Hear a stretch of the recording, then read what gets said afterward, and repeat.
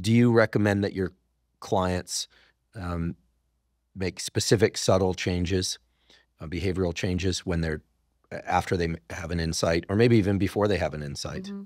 I think the reason that people have so much trouble changing is because the step that they've chosen is too big of a step to take at once that you need small manageable steps and i think people also forget this is why new year's resolutions tend not to last very long because change is a process. And there's a there's a chapter in my book called how humans change. And i think it's so important for people to understand that there are stages of change. And it starts with pre-contemplation where you don't even realize that you're thinking about making a change. You think like something's not right but i don't really need to change. Like something's just not right in the world. Um, you know it's my partner it's my you know it's my child it's my whoever right? Um, there's then there's contemplation which is oh maybe i could make a change but i'm not quite ready to do it. And that's when people usually they come to therapy somewhere around pre-contemplation they're kind of between pre-contemplation and contemplation. Like something's not right they come to therapy we get them to contemplation which is like oh maybe i'm contemplating making some changes um, and then there's preparation, which is you're taking some steps to prepare for the change. So it's not like I'm going to dive into the deep end of the pool. It's like, oh, maybe I need to take some swimming lessons, or maybe I need to get a swimsuit, or maybe I need, you know, whatever it is. Like I need to prepare to make this change.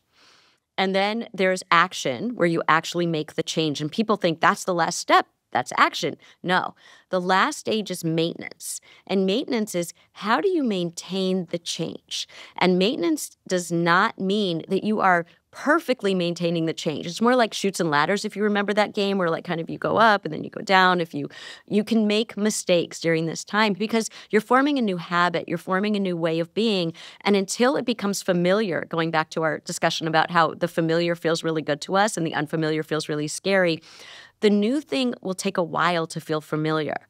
So let's say that you say, like, I'm going to eat healthy. And that means that I'm not going to, you know, like eat an entire Haagen Dazs or something when I'm sad. Then I'm going to do something different. Well, sometimes when you're sad, you might do that again. But then you don't self flagellate. So it's not like, oh, it failed, so forget it. I'm not gonna, like, I, I failed and I'm not able to make this change. No. Or you don't say, like, oh, I'm so terrible and that was awful and I'm so weak self flagellation is not helpful. Imagine if your kid came to you and they said, like, I did really poorly on this test. Are you going to say, you're so stupid? You know, like, what's wrong with you? No, you're going to say, well, let's talk about what happened. And they might say, I needed help and I was embarrassed to ask, or I didn't understand it, and or I didn't study. I messed up. I should have studied and I didn't study. Okay, well, what are you going to do differently next time? Let's come up with a plan. So you need to have, just like you'd have some compassion for your child and hold them accountable, both. It's hard to hold yourself accountable when you self flagellate. In the short term, you can, but it doesn't last because it feels so unpleasant. You're just sort of bathing in shame. What you need is self compassion. And actually, if you have more compassion for yourself, you're more able to hold yourself accountable. So you can say, oh, you know what happened? I was feeling really sad. I had this whole pint of Haagen Dazs, but I, it's okay that I was sad. And there's another way to do this. So next time when I'm sad, I didn't have enough support. So I'm going to call a friend next time. Oh, self compassion with accountability.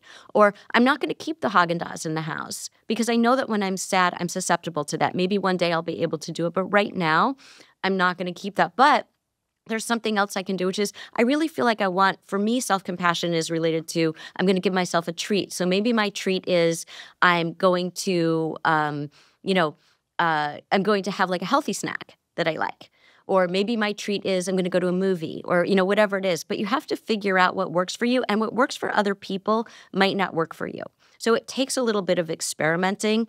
So maintenance is this kind of experimentation, but having self compassion with accountability until you find a system that works for you and the new thing becomes a habit, it becomes familiar, and the thing that you used to do becomes unfamiliar and doesn't feel good anymore.